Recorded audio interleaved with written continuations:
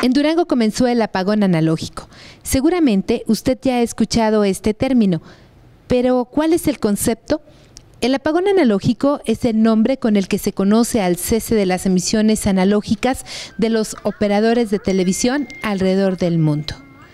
¿Qué quiere decir todo esto?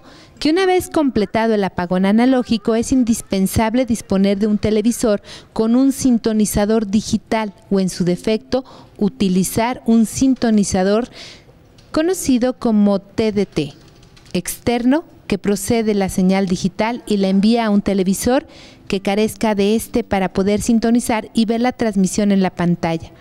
A la vez, se requiere de una antena aérea que sintonice las frecuencias digitales y las entregue al sistema pues de antenas de televisión actuales que no captan la frecuencia digital. ¿Está usted listo para el apagón en Durango? Con la imagen de Omar Díaz, Verónica Terroni, reportera